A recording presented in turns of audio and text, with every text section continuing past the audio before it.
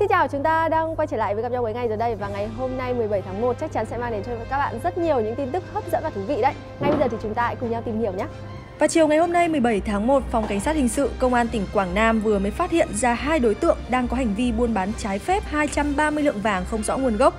Và đó chính là hơn 230 lượng vàng tây bao gồm nhẫn, dây chuyền, mặt dây chuyền, tầm đeo bông tai và lắc tay được hai đối tượng trở tới và tiêu thụ tại một tiệm vàng trên địa bàn tỉnh Quảng Nam. Và trên trang sức thì có các ký hiệu ví dụ như là T.DANH610 của công ty Thanh Danh và K.LOAN610 của công ty Kim Loan. K.HAO610 của công ty Kim Hảo và một số vàng ký hiệu của các công ty khác nữa. Tuy nhiên thì khi được mời vào làm việc thì hai đối tượng trên đã không chứng minh được nguồn gốc cũng như là chủ sở hữu của số vàng mà mình mang đi bán. Hiện tại thì phòng cảnh sát hình sự công an tỉnh Quảng Nam đang tạm giữ số vàng trên để tiếp tục điều tra và làm rõ và đồng thời cũng đang thông báo nếu như bất kỳ cá nhân hay tổ chức nào biết liên quan đến số vàng nói trên thì hãy chủ động liên hệ để trình báo và phối hợp điều tra, ngăn chặn tội phạm và tìm ra chủ nhân thật sự của 230 lượng vàng trên trên. Tin tức tiếp theo, mặc dù là thầy trò huấn luyện viên Park Hang-seo đã có một trận đấu thành công khi mà giành chiến thắng 2-0 trước Yemen và tuy nhiên đây chưa phải là một kết quả đủ giúp cho đội tuyển Việt Nam của chúng ta nắm chắc trong tay tấm vé để được đi tiếp.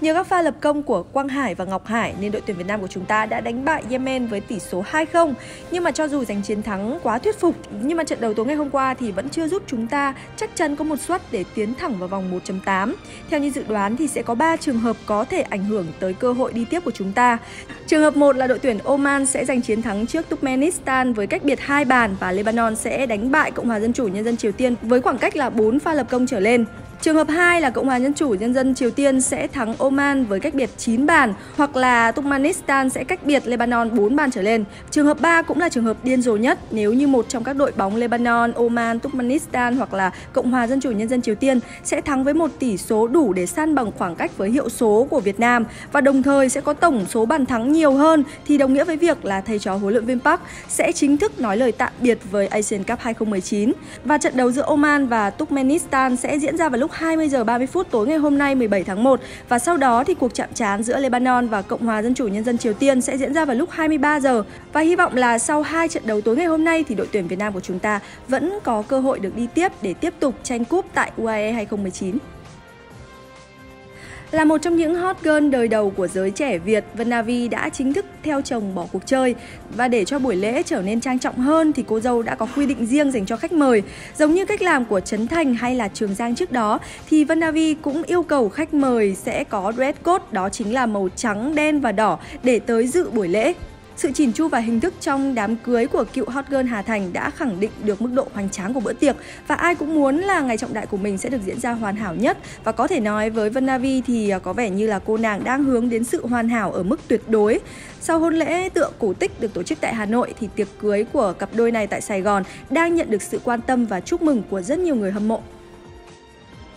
Ngày 15 tháng 1 vừa qua thì mạng xã hội đã trở nên xôn xao trước một đoạn clip ghi lại cảnh một người phụ nữ lớn tuổi đã cầm búa và đập nát kính lái xe và đèn pha, gương chiếu hậu của một chiếc xe hiệu Mercedes-Benz C200 với giá trị khoảng 2 tỷ đồng. Và được biết thì người phụ nữ trong đoạn clip trên có tên là M, 67 tuổi, hiện đang trú tại phường Tân Định, quận 1, thành phố Hồ Chí Minh. Và chia sẻ về hành động của mình thì bà M đã cho biết: "Tôi dọa nếu như soi đèn vào nhà thì tôi sẽ đập xe, mày không lấy xe thì tao sẽ giải nước sơn lên, cho mày sơn lại." Thế mà nó còn thách thức và bảo tôi là không hiểu tiếng người, soi đèn xe vào bàn thờ nhà người ta rất xui xẻo. Bà M cũng kể thêm, điều khiến bà bức xúc đó chính là chiếc ô tô này đậu trước cửa nhà bà khi mà ánh nắng buổi chiều phản chiếu lên xe, dọi thẳng vào ban thờ tổ tiên gia đình bà. Và đây chính là lý do bà đã cặp búa để đập nát kính của chiếc xe này. Và sau khi được công an phường triệu tập thì bà mờ cho rằng người đàn ông đi ô tô đã cố tình đậu xe trước cửa nhà mình, mặc dù là bà đã nhắc nhở nhiều lần. Và khi mà người này có những lời lẽ thách thức thì bà đã trở nên tức giận và dùng búa đập xe. Hiện tại thì hai bên đã gặp nhau và hòa giải và tự thỏa thuận đền bù chứ không khiếu nại ra công an nữa. Sau tập đầu tiên của bộ phim Mối tình đầu của tôi, Ninh Dương Lân Ngọc và Chi Pu đã liên tục khiến cho khán giả hoảng hốt bởi tạo hình và diễn xuất có phần hơi quá lố của hai cô nàng này. Chỉ mới tập 1 được lên sóng mà khán giả đã nhận về một combo lên hoàn trưởng từ nữ chính An Chi do Ninh Dương Lan Ngọc thủ vai cho tới cô bạn thân là cô nàng Hạ Linh do Chi Pu thủ vai. Cô nào cũng hoảng hốt lại còn có phần hơi quá lố nữa.